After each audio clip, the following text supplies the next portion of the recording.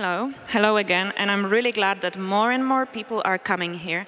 Well, this panel is especially important to us because Wolf Summit is a part of Digital Festival, and that's why these guys are here. Uh, first, I would like to introduce Michał Jędraszak. He's the CEO of Straal. He will present to you and then invite um, Piotr Mieczkowski and Igor Zacharjasz. So over to you, Michał. You can take a microphone. yeah. Just take the microphone. Hello.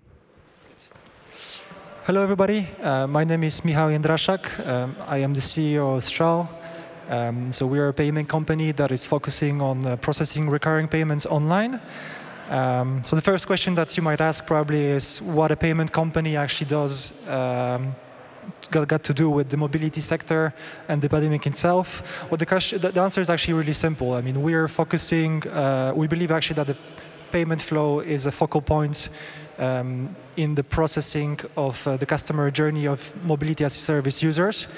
Um, and this is why we want to keep a finger on the pulse when it comes to the changing behaviors of customers um, and therefore be at the forefront of what is happening uh, in this sector um, to serve better our customers in this booming and relatively new um, industry.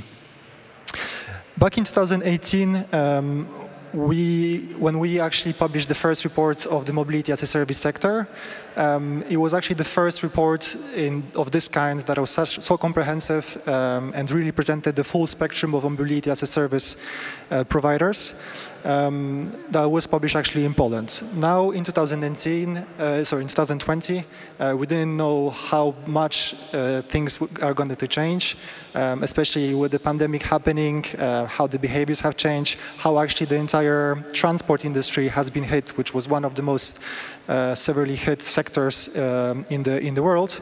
So we wanted to see basically how the behaviors have changed, what are the new challenges and new uh, opportunities in this sector, um, how the behaviors when it comes to the payment methods have changed, what is the stance of the customers when it comes to the, uh, the future of this, of this industry with autonomous vehicles coming in, with new aggregators uh, starting to slowly moving into this industry.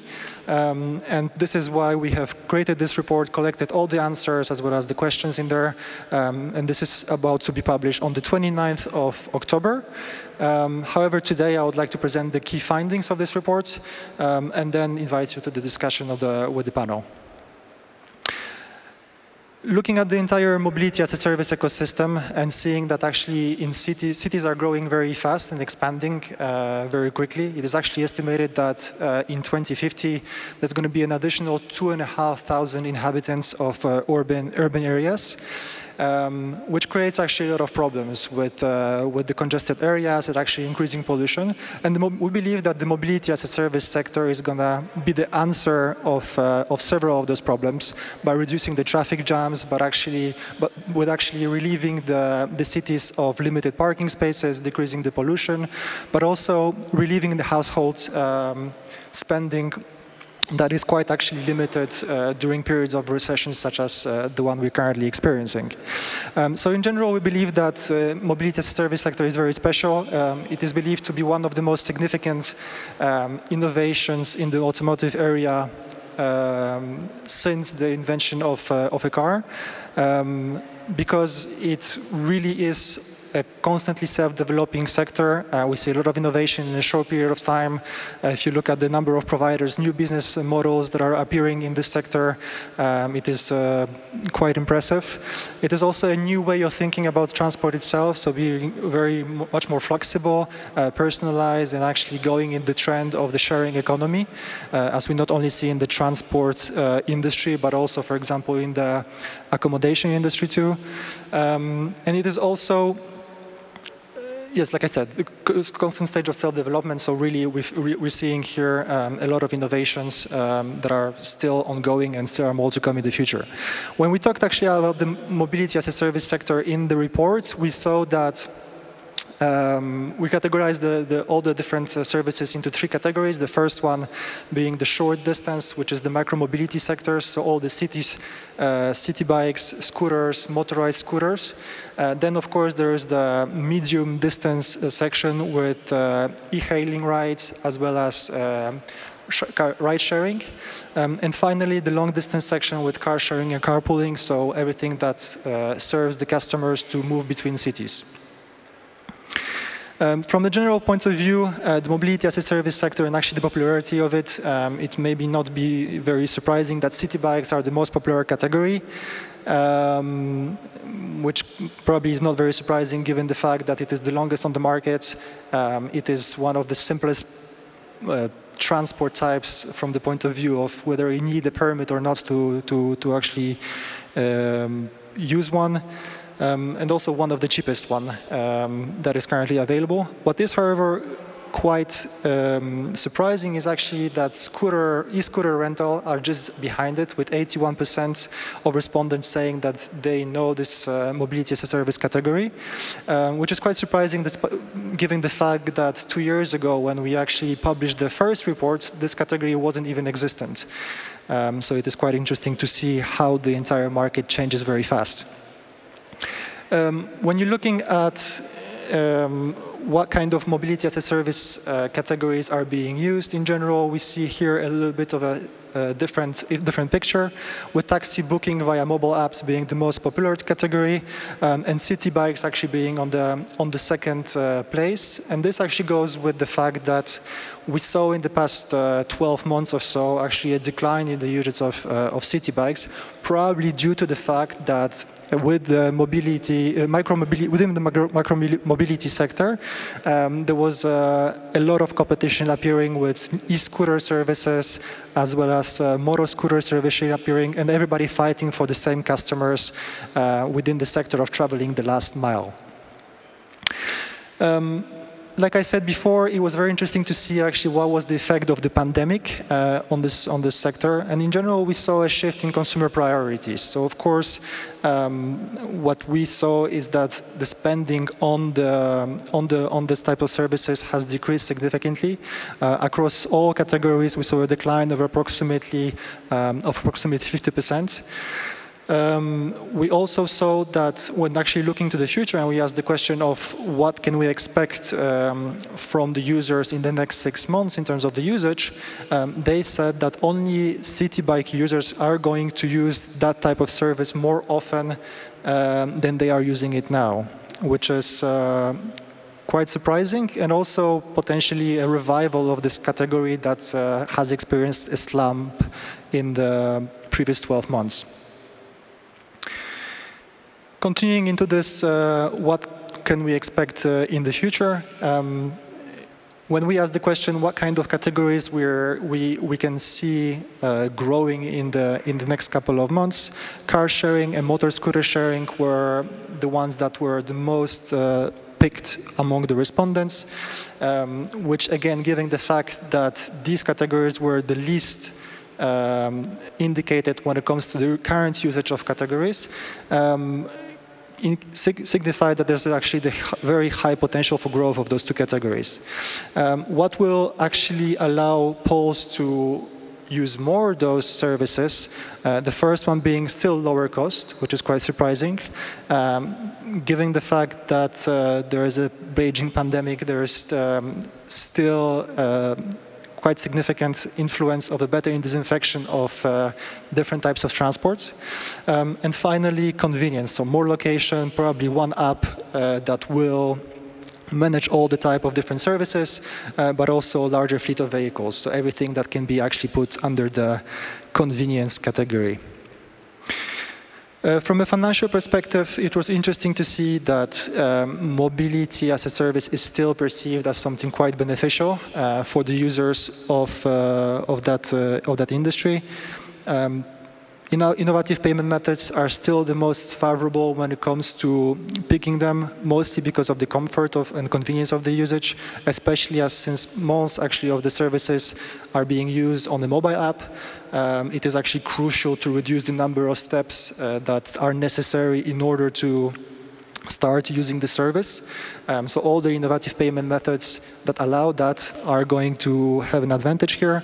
Cash is still popular, however, um, only, for example, in the environment of paying for a taxi, uh, taxi service, um, and mainly due to the fact that it allows the users to still be better in control um, when it comes to their home budgets um, and controlling, controlling the costs.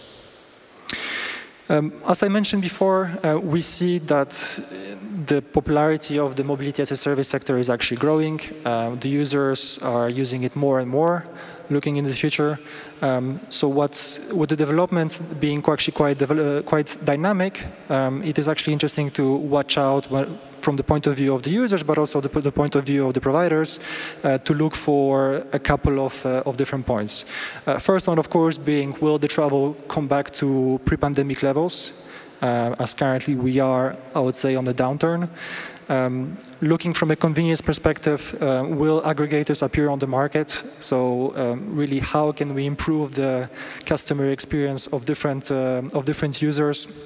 With one app that will rule all different types of services from one single point. Um, and will, of course, the governments and local, local initiative, local organizations take a decisive action when it comes to uh, initiatives such as uh, the mobility hubs or actually new regulation uh, that will come across the needs of not only the users but also the providers. And with these questions in mind, um, I would like to invite the next guest for the panel as well. Uh, so Igor from Visa as well as Piotr from, uh, from Digital Poland Foundation to talk about those questions. Here you go. Hello. So my name is Piotr Mieczkowski. Uh, I'm a managing director of Digital Poland Foundation. And together with me is the CEO of Straal, Michał Jędraszak, and Igor Zacharjasz, uh, Engagement Director and Leader of Innovation in Visa Poland. Thank you for accepting the, the invitation, gentlemen. Thank you, Piotr. Thanks, Piotr. Uh, so let's start with the trends. Uh, since you are processing a lot of payments, uh, you see what are the financial trends during the pandemic. How you see uh, the the, the payments uh, trends that we see? Maybe Igor, since you are representing Visa. Yes, so uh, pandemic, uh, I would not say that changed everything, but significant, significantly changed the, the uh, the, the, market of payments. Of course, we see a major increase in terms of e-commerce payments, but in the same time, uh, face-to-face -face payments are uh, declining. when it comes to uh, mass transportation, uh, we can see that after a sudden drop um, of, of uh, ticket purchasing, uh, in June, we uh, managed to recover to the level of two-thirds of, of the pre-COVID, I would say, times. So we are still in the recovery phase. Um, uh, it's, it's, hard to say when we will, we will be back to the new normal. Uh, but but yes, we are still still uh, recovering. Michał? Um, I mean, adding to what Igor has said, yes, I mean, we are actually seeing quite a, a big sh shift when it comes to uh, moving away from offline and actually accelerating towards moving towards online. So many businesses from one day to another um, had faced a difficulty of closing down their businesses are actually continuing to sell uh, online through platforms such as Shopify, you know, Amazon, uh, or, or, Magento, for example. Um, so there was a huge shift in the retail sector. Um, I mean, from our perspective, when we look at our portfolio of clients, of course, there are sectors that have stopped processing almost from one day to another, such as you know the travel industry, the fitness industry. Um, but we see growth in uh, in other sectors, such as the gaming industry, digital goods. Um, so overall, from a perspective of online payments, we see that there was actually an increase in processing uh, among our customers. Yeah, during the pandemic, we have seen that there was a huge drop in uh, ride hailing and uh, you know car sharing. We've seen a huge uplift in terms of using bikes, I would say. So my question is, how you see, Igor, the, the, the trends? Because as you know, people moved away from uh, public transport, at least, you know, in the pandemic, because they were afraid of COVID.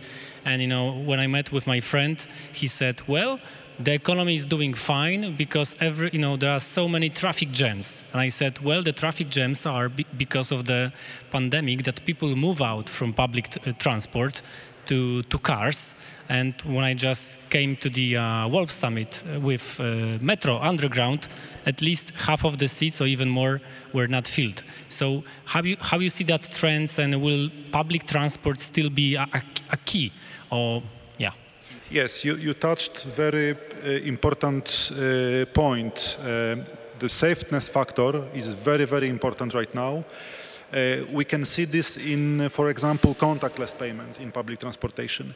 Contactless payment uh, pre-pandemic was kind of a nice to have functionality because it is convenient, it is fast, but right now, how consumers are seeing this, I mean contactless payment, we added this third factor to, to this equation, which is safeness. So, so it is not only nice to have functionality, but it is uh, must to have functionality because of this, this uh, um, uh, it, is much more safer than, than paying by cash. Yes, so, so yes, the, the, this is very important. And uh, when we are doing some research and checking the, the, the trends or the, the change in the uh, consumer's behavior, it is quite strong uh, in, in, in every research we, we are doing. Yeah.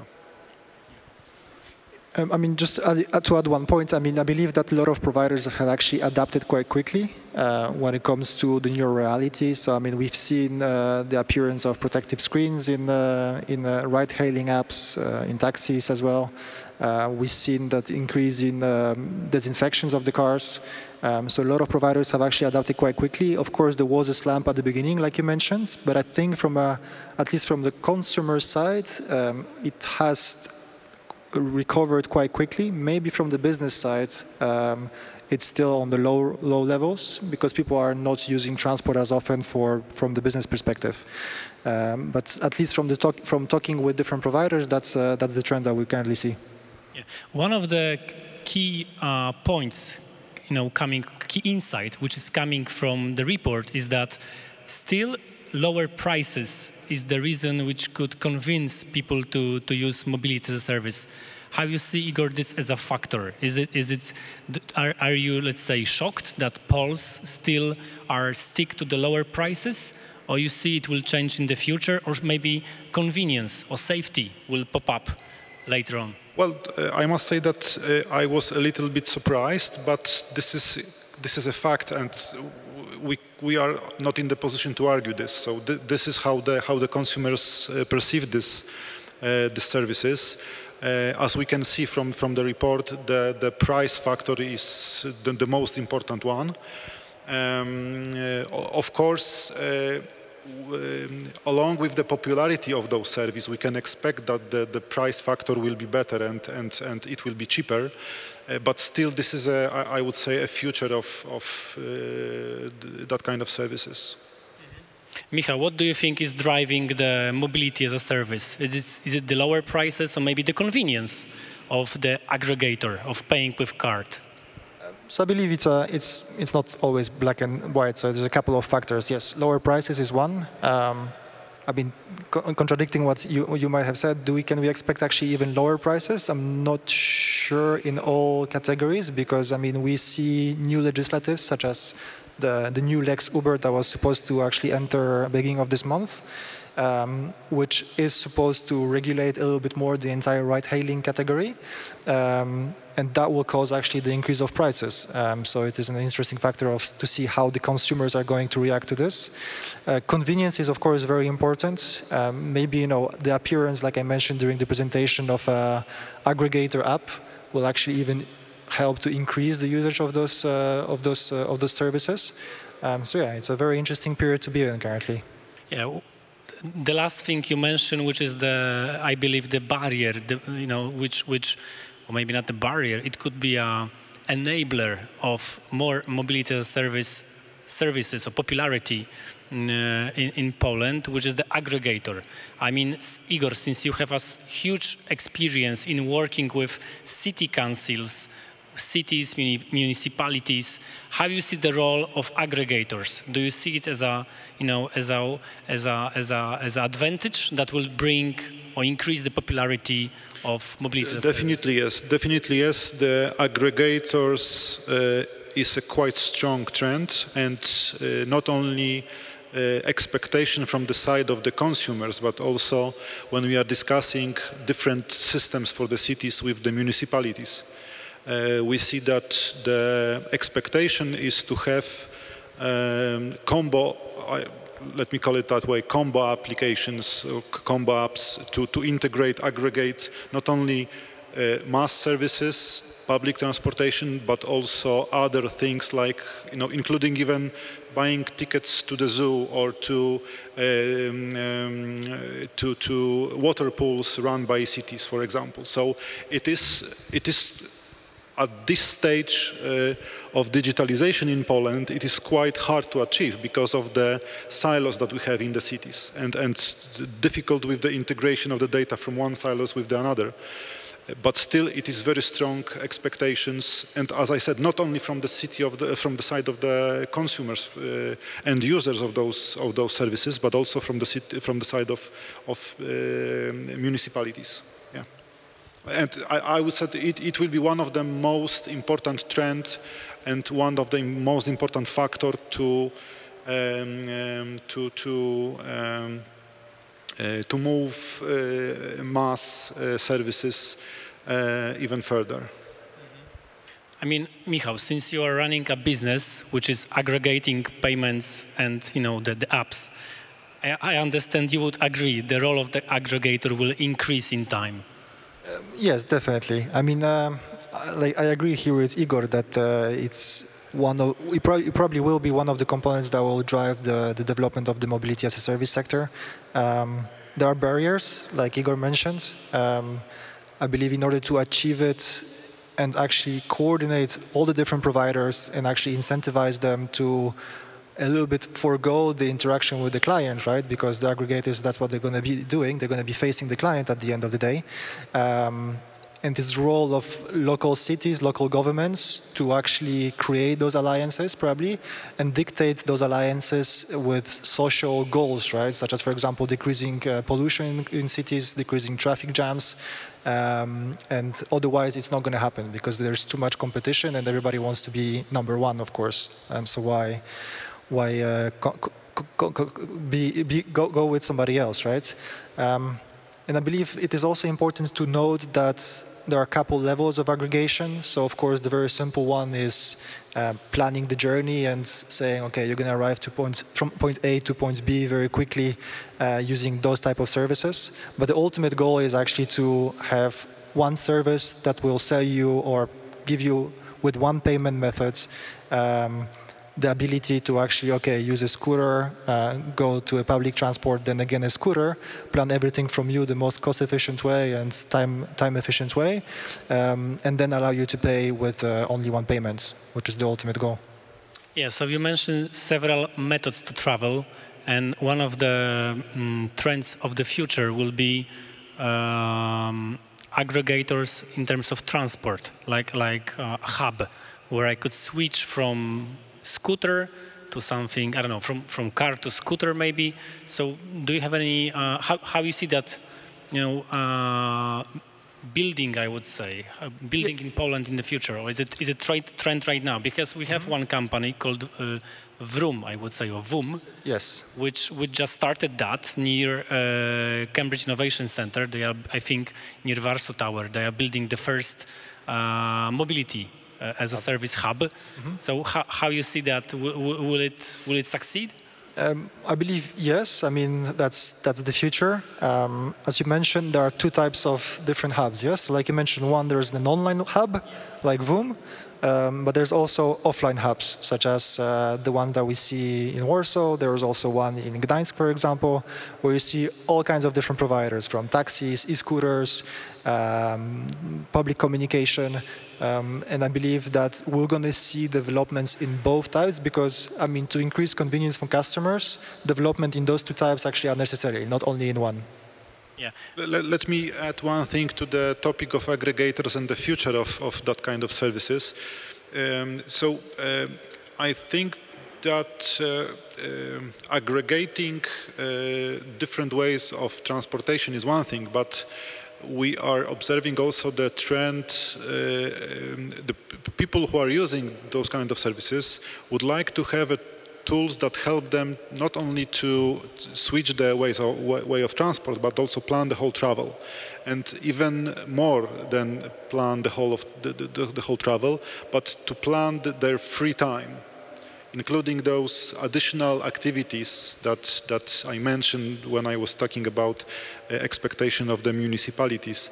Uh, like you know, uh, planning the trip to, to, to, zoo with your family with different ways of, of, of, transportation, parking the car in, in, in convenient place, switch to the metro, switch to the, I don't know, Panek or, or any, you know, other um, uh, company shared car, and then uh, go to, to zoo, for example. So, so this is the, the, the change in the way of thinking about, um, about transportation in the city.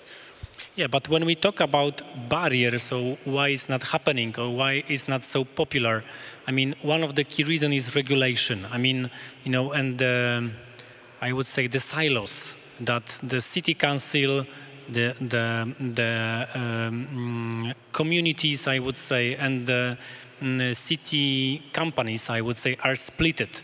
So you can't easily build one solution. How, do, do you confirm that and you know how you see those challenges uh, in Poland? I mean, in terms of those silos and how to build this one successful aggregator. Uh, you are absolutely right. One of the most important thing to, to overcome um, is uh, those barriers uh, uh, on the legal field, I, I would say, regulational. Um, not only that the, the, data are silos and, and difficult to integrate from the technology perspective, but also from the legal perspective. So this is, this is very important. But right now, I think uh, municipalities uh, are aware of this, at least. So this is very good, good, good point to, to, to start.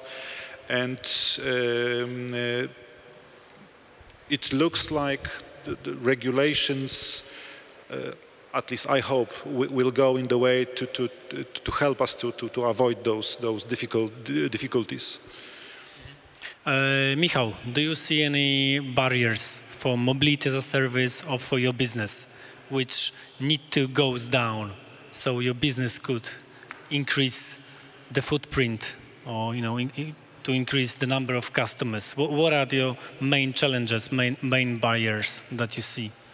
Um, I mean, it's hard to say to, from the perspective of payments. Um, I mean, there are some challenges that are maybe from a perspective of customer convenience are going to make the journey a little bit more difficult, for example, such as increasing the authentication and uh, the need to actually register, for example, a payment methods, you need to go through the full authentication.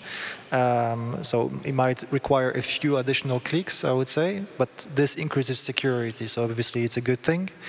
Uh, from the perspective of uh, the mobility sector, I believe there are again regulate, regulative barriers. Um, there there's a lot of things happening, such as, for example, like the, I mentioned Lex Uber, which is going to regulate the entire market. Um, with the scooter e-scooter industry, um, there's also a lot of talks about uh, something called Lex UTO or UTO, um, which also will regulate how do you behave driving a scooter on the streets, how fast you can go, where you can drive it, do you need a permit um, or not. And this will probably, you know, dictate how the, the entire industry is going to evolve. Uh, Igor, since you are building the innovation inside Visa, how you see the product could change in terms of paying for mobility as service? I believe aggregate, aggregation is one thing, but you mentioned uh, you, you, mentioned mm, uh, like uh, mm, payment method for which I don't pay for one ticket, but I pay, I understand, each time for, for a specific, specific time and specific method of transport, right? Well, from our perspective, from the perspective of Visa, we are in the payment business. So for, for us, the, the most important thing is to deliver uh, the most convenient and yet in the same time safe ways of payment. So uh, uh, the, the, the, the best thing that we can do for the consumer is to provide the safe way of, I would say, not paying. So payment without the activity of payment. This is, this is something that, that would be a best user experience that we can deliver to, to, to, uh, to, the, to the consumer. And we are working uh, uh, on this. Of course, uh, we are acting in very regulated, uh, regulated uh, industry. So it is not that we can do anything that we want. We are strictly regulated, and sometimes those regulations are challenging us, and and we cannot deliver the the uh, the, the, the, best uh, user experience because of the um, uh, of the um, for example for example safety requirements it, it is it is still okay because the, the, the goal is to, to, to deliver very safe ways of, of, payment. But we cannot do anything we want. We need to we need to um, in the same time be uh, aligned with the regulations, but we still need to overcome the, the obstacles and we are trying to deliver the, the, the best UX that we can uh, that, that we can think of. Um, so for us uh, um, payment without a, a, payment is something that we would like to achieve without uh, activity of paying. Let me put it that way. Uh, is something that we that we would like to achieve.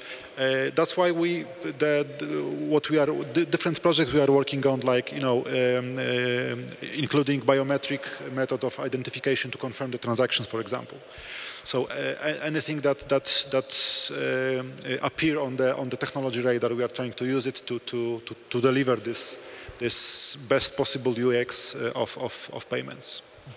Uh, you mentioned biometrics. I mean, how you see the acceptance of the biometrics by Poles or by, you know, citizens of CE region? Uh, you are asking uh, on biometrics? Did I understand? Biometrics, yeah, by fingerprint or I don't know, whatever method. I think, uh, at least in Poland and in, in CE region, we can see that Poles are eager to pay with, well, to, to use biometric method of, of uh, identification and confirmation. Uh, um, uh, our research shows that people are trusting this way of, of, of confirmation of, of their, their, identity, and it is quite widely, uh, already widely known to the to the to the people. So, very good. Uh, method of, of, confirmation of the transaction or, or, or uh, confirmation of your identity, yes. Michał, since you are, uh, you know, leading the, the Straal, which is the, uh, uh, you know, securing the payments for inter alia, for, for, for mobility as a service, uh, how you see the biometrics? Will it, you know, increase the popularity of uh, mobility as a service? Is it, is, is it the, will it increase the convenience or maybe safety? Because we've seen that safety is one of the key reasons uh, key reason for, for using mobility as service and payments? Um, so I believe in, in, general that, yes, it of course increases security um, and biometrics makes, increases the convenience of keeping the security at a high level, basically. Um, and I mean, from even from the report, when we saw what kind of methods are currently being used, I mean, looking, for example, at Google Pay, Apple Pay, which use biometrics to confirm a transaction, and are, uh, I would say, from a mobile perspective, at least one of the most convenient ways of paying for, for a service. Um, they are still only being used by a fraction of the population. Um, and are being used mostly by the younger uh, part of the of the of the demographics. Um, and I see a huge potential here for um, using those payment methods more in the future, um, especially because the convenience is so much higher than actually um, using the different payment methods. From my perspective, I must say that digital identity, you know, KYC. That's one of the key reason for using digital uh, tools or methods. And, uh, you know, I believe that using bio biometrics, you know, like or even like uh, face verification, etc., will increase popularity of uh, of the services. How you see, uh, Igor, this trend using face verification or any other like scanning your passport, scanning your identity? So I can say that technology is already here. So uh, everything that is needed to uh, verify your identity uh, what is especially important in the financial industry when uh, KYC process, know your customer process, um, uh, is, is, is, considered. Uh, so the, the, the, the, technology is, is already here. Um, and again, we are going back to the regulations. We are in financial, financial uh, industry is heavily regulated. So it is very often not only in this financial, uh, in, the, in, this industry, but any other regulated industry that regulations need to, uh, um, need to be uh, changed much more faster to be, uh, to be, um, uh, to be, how to put it, to catch up with the technology. Yeah? Uh, and and the, the, the process you mentioned, KYC, in banking industry is a very good example five years ago or four, four years ago, it wasn't possible to verify your, your identity online. To, to for example, cre create an account uh, online uh, with biometric as a, as a method of uh, identify your, your um, uh, that you is really you. Uh, right now, the, the, regulation changed. The technology uh, is already uh, in use, and we can observe that on Polish market that more banks are introducing this way of creating an account. So the, I think that, that we, we, we, can see that it is moving in the in the in the in the good direction, and uh, even uh, uh, right now in the COVID in the COVID times, it is especially important to not bring your customer to the to the branch to the to, to, to, to the office to, to verify, you know, in person, but to to uh, create possibility and safe environment to do the, to do this uh, online. And Michał, how you see that? Um, I, I, believe that also one trend adds to, to that factor of actually, you know, helping the KYC process of onboarding new clients is actually the open banking um, uh, field as well, because uh, now third-party providers can actually take out the data from banks in a more secure and I would say structured way from banks in order to use it for services such as, for example, KYC, you know, opening new accounts, um, and everything uh, is done thanks to the new regulations that are actually happening on the market. Any final, final remarks you want to say? If no, then uh, my and your guest was uh, Igor Zacharjasz, uh, Engagement Director and Innovation Lead at Visa. Thank you, Igor. Thank you very much. And Michał Jędraszak, CEO of Straal. Thank you. Thank you. Thank you for tuning in and thank you for being at Wolf Summit. See you in 2021.